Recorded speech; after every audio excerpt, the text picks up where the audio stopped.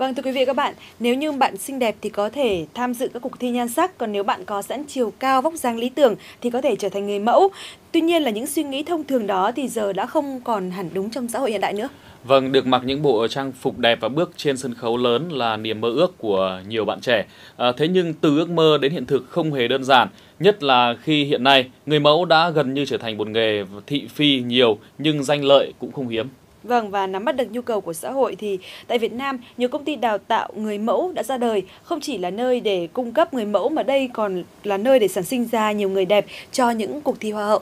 Và trong uh, chuyên mục câu chuyện buổi sáng ngày hôm nay thì xin mời quý vị và các bạn hãy cùng tìm hiểu về công nghệ đào tạo người mẫu hay có thể coi là hình thức kinh doanh nhan sắc đang dần hình thành tại các đô thị lớn hiện nay. Thật ra thì ban đầu em cũng không thích nghề người mẫu lắm ừ. Nhưng mà sau khi xem một chương trình về người mẫu thì kiểu em cũng quyết tâm thử một lần. Khi tham gia nghề người mẫu thì em nghĩ là nghề này nó chỉ toàn kiểu ánh hào quang à. rất, rất là sung sướng lúc nào cũng được ăn mặc đẹp rồi à, luôn luôn được làm đẹp và khoác lên người những bộ đồ hiệu. Ừ. nhưng mà sau khi tham gia rồi thì em biết là để có được những giây phút đấy thì phải trải qua rất nhiều khó khăn. Từ một cô gái còn rụt rè thậm chí bỡ ngỡ với đôi giày cao gót. chỉ hai năm sau cô gái này đã trở thành á hậu của cuộc thi sắc đẹp lớn nhất cả nước cuộc thi hoa hậu Việt Nam 2014 sự lột xác ấy có được từ những lớp học như thế này. Ở đây, những bạn trẻ ban đầu chỉ có cái vốn là chiều cao, bắt đầu được đào tạo, huấn luyện từ những bước đi đầu tiên. nước ngắn hơn nhá, với cả lúc câu dáng thì anh tạo dáng chậm hơn một chút, không nên nhanh quá, giữ lại dáng 3 giây rồi lại chuyển dáng khác.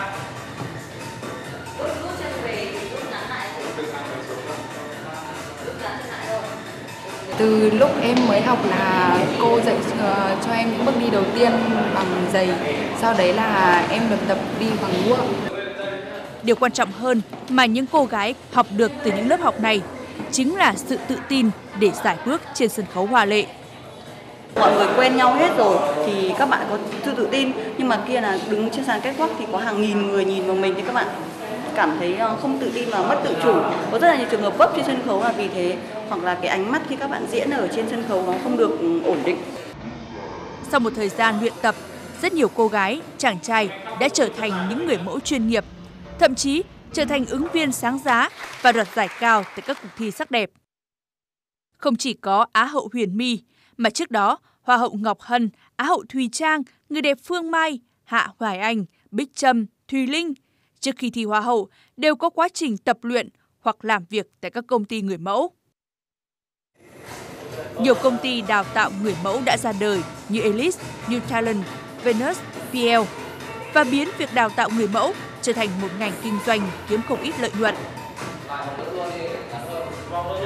Chắc chắn là họ xác định là sẽ tìm kiếm người mẫu để nhằm vào mục đích là à, tham gia các show trình diễn thời trang và dĩ nhiên à, về mặt lợi nhuận thì à, à, các công ty và người mẫu sẽ có một cái sự một cách thương lượng nhất định và cảm thấy là hai bên à, vừa lòng hợp ý với nhau dĩ nhiên là họ cũng không bao giờ muốn ờ, điều bất lợi cho mình và chắc chắn là công ty người mẫu thì họ cũng muốn là phải có lời thì họ mới kinh doanh ngày nay khi có quá nhiều các cuộc thi nhan sắc các sân khấu, các chương trình biểu diễn thời trang ra đời, thì người mẫu cũng đã trở thành một nghề không kém phần danh giá. Từ những ước mơ vụng về, có đôi phần ảo tưởng, nhiều cô gái, chàng trai trẻ đã có cái nhìn đúng đắn về công việc mình đang làm.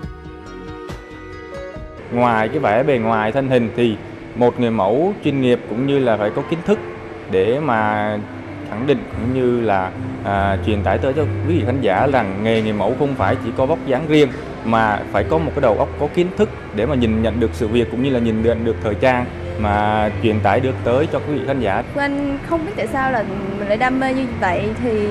uh, khi bước vào thì Phương Anh cảm thấy là rất là thú vị bởi vì mình có thể ờ, uh, thỏa được niềm đam mê về thời trang, hiểu thêm về thời trang và có thể uh, sống với uh,